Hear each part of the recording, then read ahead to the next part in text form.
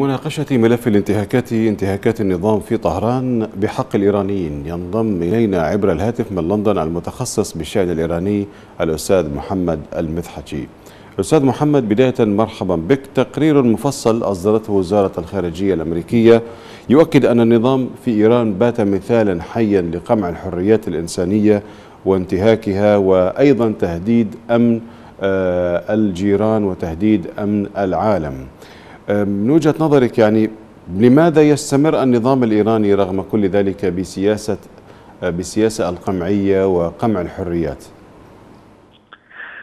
في البداية تحياتي لحضرتك والسادة المشاهدين الكرام. آه طبعا آه في هذه الظروف وخاصة بعد آه العقوبات الأمريكية المشددة آه النظام الإيراني لم يستطع أن يسيطر على الأزمة الاقتصادية وتفاقمت الأوضاع الاقتصادية بشكل كبير في البلاد حيث اندلعت أكثر من احتجاجات ومظاهرات عمت البلاد أو عمت ما لا يقل عن نصف المدن الرئيسية في البلاد ما أدى إلى تشديد القبضة الحديدية. والآن الحديث عن احتجاجات جديدة ستعم البلاد خلال الأشهر القليلة القادمة مع تأثير أزمة كورونا على الاقتصاد الإيراني. على سبيل المثال نتحدث عن اليوم سعر صرف الدولار سجل رقم قياسي تاريخي في إيران وبلغ كل دولار أمريكي يعادل 300 ألف ريال إيراني. وهذا لم يسبق وكذلك الخبراء الاقتصاديون يتوقعون أن يصل أو يصل سعر صرف الدولار في إيران إلى أكثر من 400 ألف ريال, ريال إيراني لكل دولار وهذا كله سيقع على عاتق المواطن. والآن النظام الإيراني يحاول من خلال إرهاب المواطن أن يمنع اندلاع موجة جديدة من المظاهرات من خلال هذه المضايقات والإعدامات. وعلى سبيل المثال إعدام المصارع الإيراني الذي حاز على ميدالية الأولمبياد الرياضية وكذلك على ميداليات عالمية أخرى للمواطن الإيراني هي أننا لا نبالي بإعدام شخص بهذه الأهمية فما بالكم أنتم مواطنون عاديون لا يهمنا إعدامكم وسنعدمكم ولا يهمنا التداعيات. فالنظام الإيراني في هذه الظروف خاصة في العام الأخير مجبر أو مرغم على تزييد من إجرامه أن يزيد من إجرامه داخل البلاد حتى يمنع اندلاع موجة احتجاجات.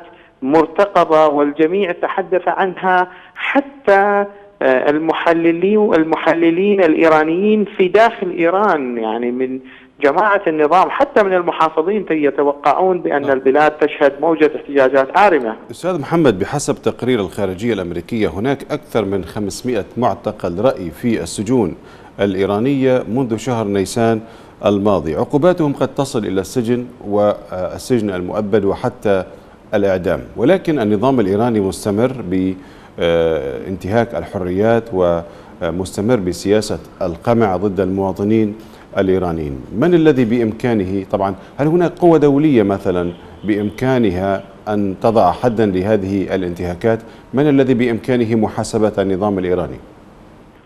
يعني إذا نلاحظ القوى المؤثرة عالميا الصين تدعم إيران الاتحاد الأوروبي يدعم إيران صراحة وعلانية. يعني لاحظوا لما يصل الموضوع إلى ذراع إيران الإرهابي في لبنان حزب الله جماعة حزب الله هم يحاولون من خلال إغلاق بعض مكاتب جماعة حزب الله على أراضيهم أي يتحدثون عن فرنسا وتحديدا ألمانيا أن يتفادوا الضربات الأمريكية التي توجه لهذه الجماعة ويسمحوا لهذه الجماعة أن تواصل بغسيل الأموال في بنوك البنوك الألمانية والبنوك الفرنسية بشكل علني فإيران تتمتع بدعم قوي من قبل المؤسسات التي تسيطر عليها الجهات الأوروبية وكذلك الصين وحتى الأمم المتحدة تدعم إيران بشكل وآخر بسبب تأثير الدول الأوروبية وتأثير الصين عليها. وكذلك منظمات التي مثلا مجلس حقوق الإنسان الذي هو معني بهذه الأمور هو يتماشى بشكل وآخر مع التقارير العشرات التقارير التي تصدر من نفس المجلس لكنه لم لم يتم اتخاذ قرار ملزم أو إحالة ملف انتهاك حقوق الإنسان في إيران إلى مجلس الأمن طيب. مجلس حقوق الإنسان التابع للأمم المتحدة. حتى الآن فقط أصدر تقارير ولا أكثر. آه، الدولة الوحيدة التي الآن تحاول الضغط على إيران هي الولايات المتحدة الإدارة الأمريكية. حتى اللحظة نتحدث نحن لا نعلم عن المستقبل. آه، ماذا سيحصل؟ ويبدو أن الإدارة الأمريكية ذاهبة باتجاه تضييق الخناق على النظام الإيراني وكذلك على أذرع النظام الإيراني بسبب بأسباب سياسية تتعلق بترتيبات المنطقة فبشكل عام النظام الإيراني يشعر بشيء من الأريحية في تنفيذ جرائمه بحق الشعب ولهذا السبب منذ أربعين عاما هذا النظام قائم على العنف وهذا النظام قائم على تعليق المشانق في الشوارع منذ أربعين عاما لم يتغير المشهد. شكرا جزيلا لك أستاذ محمد المدحجي المتخصص بالشأن الإيراني كنت معنا عبر الهاتف من لندن.